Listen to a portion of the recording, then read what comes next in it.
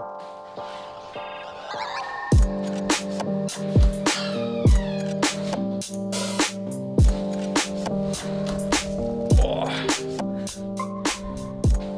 got a new light. I picked up a uh, Falcon Eyes, and uh, despite Jesse's terrible luck with his Falcon Eyes, It just stopped working. I don't like. It just stopped working. Just completely out of nowhere. I don't really know what to do. That was an expensive light.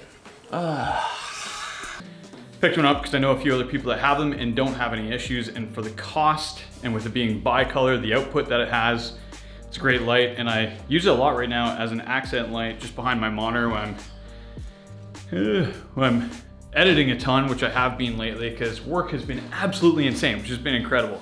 Uh, it's really been hurting my riding. I have not gotten out and done much of that, but um, I do have three or four YouTube videos that are all shot. Uh, some are almost all edited. I have a locals episode that I'm this close to being done. But uh, today I gotta head down up here later, pick up a new monitor for the studio. I finally took my Drobo back down, or I am taking it down. And uh, yeah, we'll, uh, we'll pick it up in a bit because this room probably sounds terrible.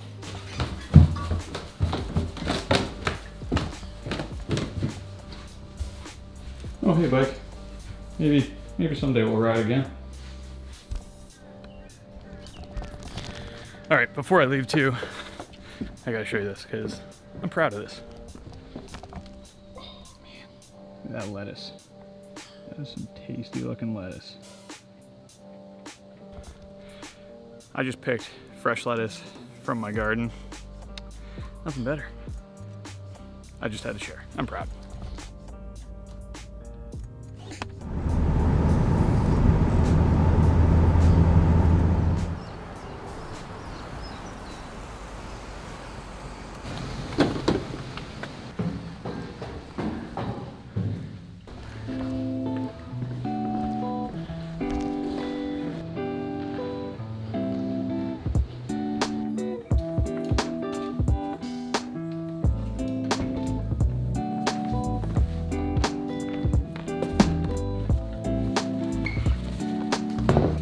Right, so like I said, back at home, plenty of stuff is going on right now. I need some keys. One of which is that I was actually signed on to a documentary series that I'll be shooting from basically, oh, which way do I need to go? I think this way. From now until potentially December. Uh, it's 60 guaranteed days on this doc series and uh, so that's great for consistent work. Um, so basically, I'm kind of on call with this one. I could just find out a few days in advance that I have to be out on a shoot. Got a new 4K monitor. Uh, it's a Dell UltraSharp 27 4K USB-C monitor. I don't know the model name. I'll throw a, a link up or something somewhere. But uh, this is nice because hopefully I won't need to remember my power cable for my MacBook because it's supposed to be able to charge my MacBook Pro right off of the monitor. So uh, that's great. So I'm gonna set this up. All right, so we got base plate, cables. Let's uh, move you over here. That probably works a little bit better. I gotta figure out how I'm gonna rearrange this because uh, there's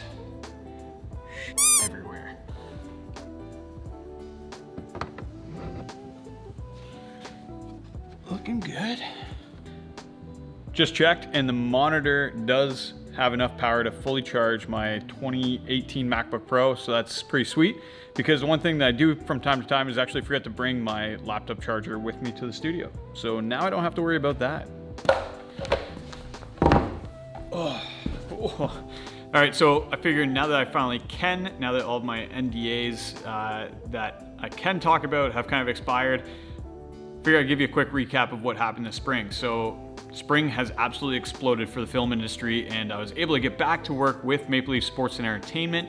We shot a four or five day uh, web series where Akil Augustine, uh, who's the Raptors host, as well as hosting a whole bunch of other things at Scotiabank Arena, was going through different wellness, mental and physical wellness uh, activities. Uh, just things to kind of get us through the lockdown as it was still happening and kind of encouraging people to get outside uh, and explore different opportunities within um, health and wellness. Uh, he did cupping, he did cryotherapy, he looked at different healthy eating styles, and uh, it was a really interesting series to be a part of, and I will leave a link in the description below for that series if you want to check that out.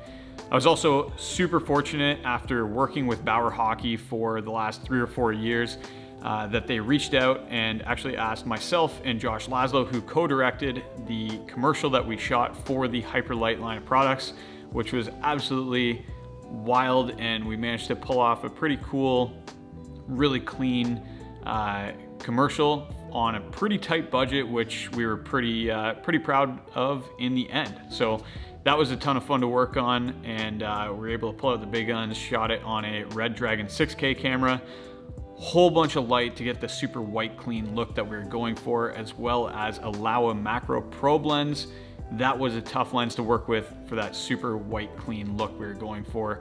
Uh, I won't get too far into why that was, but uh, it was a challenge and I think we pulled it off fairly well. So super excited about that. I've also been doing a ton of drone work. Uh, condo developments are going up like crazy, so I've been hired out to do a whole bunch of drone work for different condo developments around the GTA. Uh, not the most exciting work, but uh, fairly simple, easy, and um, fun to fly a drone for a day. So I can't complain about that either.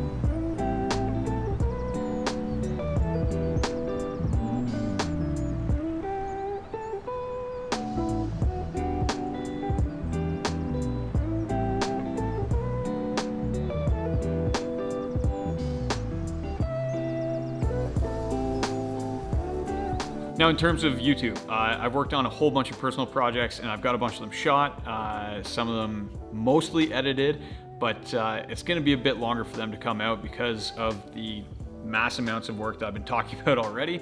Uh, but I've got one video coming out with my good friend Mel Poole.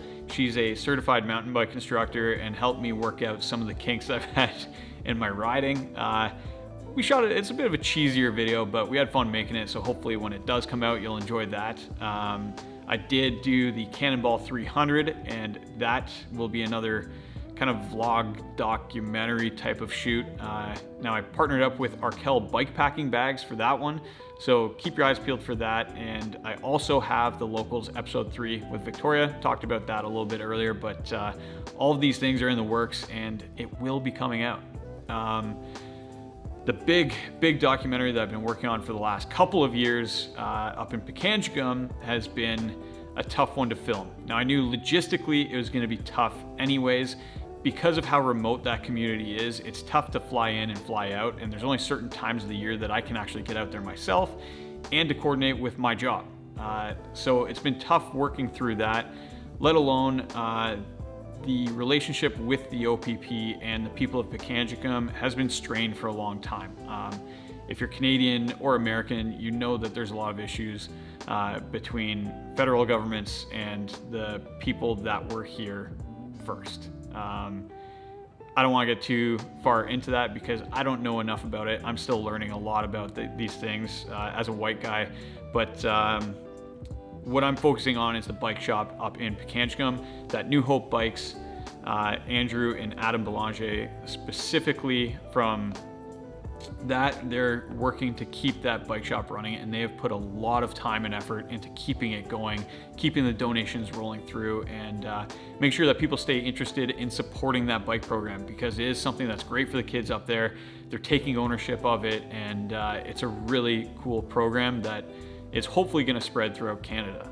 Um, with the pandemic, it's been made even more difficult because remote communities like that are even more susceptible to any disease or anything that comes in up there because they don't have the hospital infrastructure that the rest of Ontario has. So they have to be very cautious in who they let in. Now I'm double vaccinated now, but uh, they did have their uh, community closed off to the public for most of last year um, I was lucky enough to get up there and start to film some of the interviews and get some good B-roll up there, but there's still a lot that I have to film and uh, to build the story that I want to tell.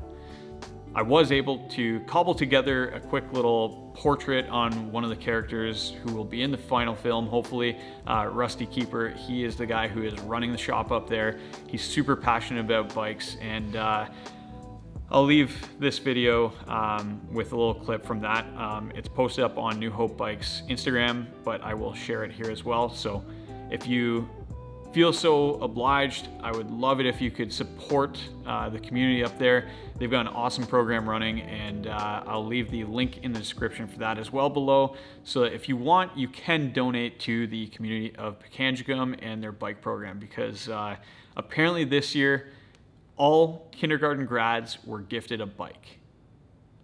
That's just the best. Um, so yeah, that's all I got for you right now. More content coming, I promise. It's gonna be slow, but keep your eyes peeled, and uh, you'll you'll see more from me eventually. Hopefully, more back on the bike. I'd like to ride my bike again. All right.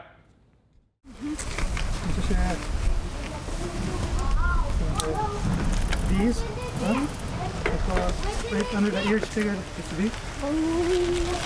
Pardon? And the second one, what? You put two fingers on your tape fingers. Go in your whole hand, okay? Not that. Just, just two of your fingers. Sometimes I wish just bikes were, were just used, were the only thing being used around town, you know?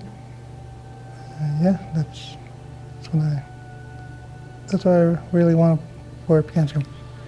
For everyone, for everyone just to use bikes, so less pollution, and I usually get around town faster with a bike.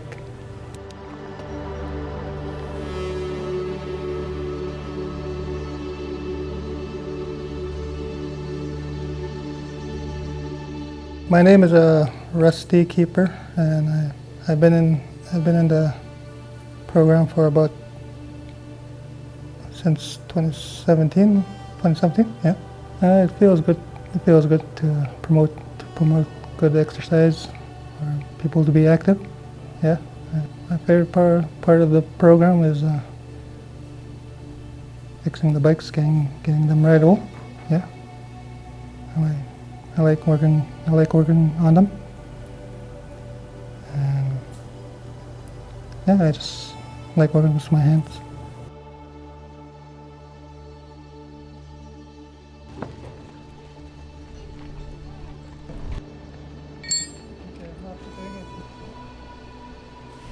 Around Smart Road.